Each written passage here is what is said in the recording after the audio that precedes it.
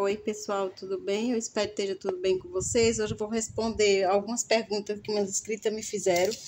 Né? Eu estou aqui tratando algumas orquídeas, mudando, mas vou gravar o vídeo para vocês. É, uma inscrita perguntou, Maria, quando chega o inverno, quando começa a ficar mais frio, eu sempre perco as raízes das minhas falenópolis. O que eu faço? Aí eu perguntei para ela, né? Ali, eu não sei se ela vai me responder. Eu perguntei: você deixa dentro do cachepô, né? Porque agora a gente tá no outono, tá mais frio, né? Não, não tá mais aquele calorão. E ela falou, ela não me respondeu, mas eu vou responder nesse vídeo. Gente, as falenópolis, elas são orquídeas que elas gostam de água, né? Elas gostam de ser molhada, elas gostam de estar bem hidratada, mas elas não gostam de ficar encharcada, tá? Então, o cultivo no cachepô é só quando elas estão floridas, tá? Se a sua falenópolis está florida e ela acabou a floração, você tem que tirar do cachepô, né? E colocar em outro lugar que ela fique suspensa, que ela tenha ventilação por baixo e por cima, tá? Por quê? Porque quando você molha uma orquídea dessa e ela tem cachepô e você põe é, ela dentro do cachepô de volta, o que que fica aqui dentro, ó? Água, ó. Tá vendo? Isso aqui fica restante de água quando você molha. Essa água, ela não evapora. Por quê? Porque tá frio, né? Então a orquídea, uma orquídea dessa que tá florida, que tá dentro de casa, leva até uma semana para secar. Mesmo na pedra, na pedra brita, tá? Perdão. Então, assim, todo cuidado é pouco. Por que, que vocês perdem? Por causa da umidade que fica constante ali na raiz tá? Então, esse cuidado é muito importante. Eu tenho algumas que tá florida, né? Que fica dentro do cachepô. O que que eu faço? Eu molho elas no dia da molha, tá? Eu não vou molhar, gente, elas, porque eu não vou judiar elas para mostrar no vídeo. Mas assim, ó, no dia, do, no dia da molha, tá? Eu coloco um, um balde com água, como eu sempre fiz, tem vídeo no canal mostrando. Coloco ela imersa na água, tá? E depois eu deixo tanto o cachepô como ela Assim, ó, eu viro o cachepô para ele secar se tiver sol, senão eu passo um seco ele com paninho, né? E deixo a orquídea suspensa assim, ó. Vocês estão vendo? Para quê? Para que se tiver alguma água acumulada na parte de baixo dessa orquídea, ela vai evaporar, tá? Se vocês não fizerem esse processo no inverno, ela vai perder algumas raízes sim tá? E talvez até todas, dependendo da quantidade de água que vocês deixam nesse cachepô, tá? Porque assim, ó, gente, quando a gente tem uma orquídea florida dentro de casa, a gente, ela quer, a gente sempre quer ela onde? Dentro de casa, pertinho da gente, né? A gente não quer deixar ela lá na rua, principalmente as minhas que ficam na garagem, assim, então quando tá, dá haste floral, eu ponho todas para dentro, né? Porque eu quero elas pertinho de mim também, porque tem um grande risco de eu ficar sem a floração se eu deixar lá na rua. Então, acaba a floração mais rápido, pode sentar um insetozinho, né? Então, esses cuidados a gente tem que ter, tá?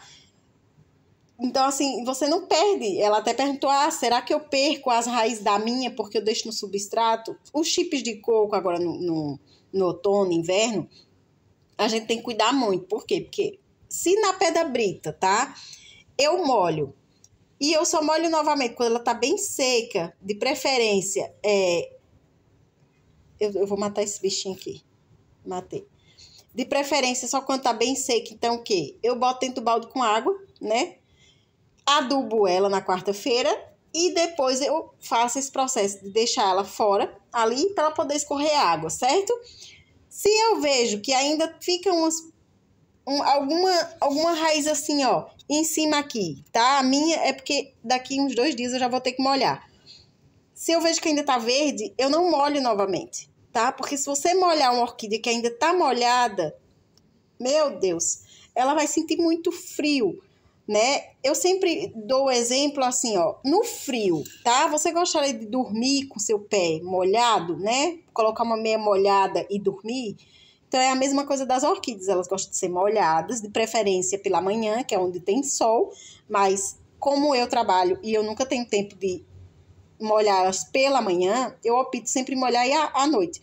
Só que agora no inverno eu tenho que acordar mais cedo para poder molhar elas, né? Que a gente já tá chegando no inverno, a gente tá no outono ainda, para elas poderem secar durante o dia que bate solzinho da manhã. Porque senão elas vão ficar muito, muito mal de noite se eu molhar, tá? Então, assim, dê um jeitinho de molhar as orquídeas de vocês, vocês não podem deixar de molhar em hipótese nenhuma, né? Teve uma escrita que falou, Maria, minha orquídea falenópolis, ela não dá raiz, ela não dá folha. Gente, respeite a sua orquídea. Se ela tá bem, se ela tá com vegetal bonito, se ela só não tá dando flor, tá? Ó, e essa minha aqui, ela tá florida já há um tempão, né? Eu fiz o transplante dela é, para pedra brita, ela estava florida e ela não perdeu, ela tem duas hastes, ó. Ela não perdeu a floração, tá?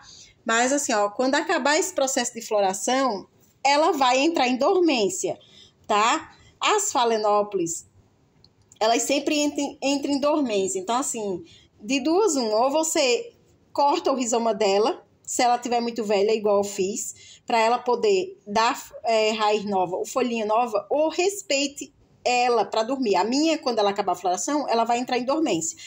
Quando ela entrar em dormência, eu vou ter que esperar ela dar, ter a boa vontade dela florescer. Gente, coloca uma coisa na cabeça de vocês, tá? As falenópolis, qualquer orquídea de qualquer espécie que vocês têm, ela só floresce quando ela quer, tá? Ela só vai florescer quando ela quiser, não é quando a gente quer.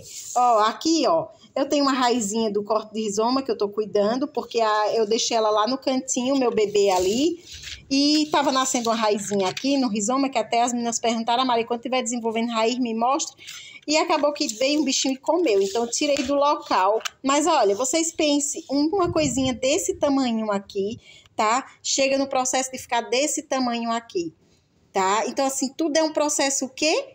lento, é muita paciência, tá? Sempre quando vocês quiserem fazer terapia, vocês comprem uma orquídea, tá? Porque orquídea é terapia, serve pra gente aprender a ter paciência com certas coisas que a gente não consegue aceitar no dia a dia, tá? Então é isso, gente, olha. Tenha cuidado com a molha, né? Sempre deixe. Não é que você não pode usar o cachepô, você pode e deve, né? Só que sempre sem água no fundo, tá?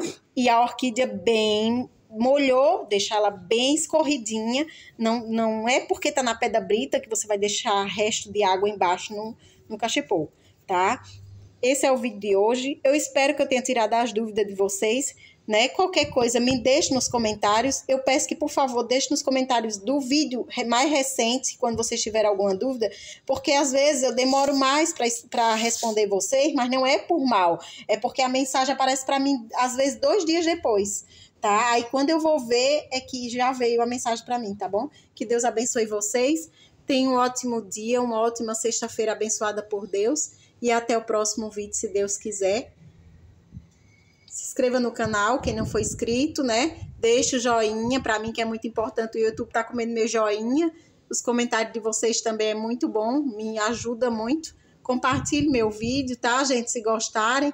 E eu deixo vocês com essa lindeza aqui Tenha um ótimo final de semana abençoado por Deus.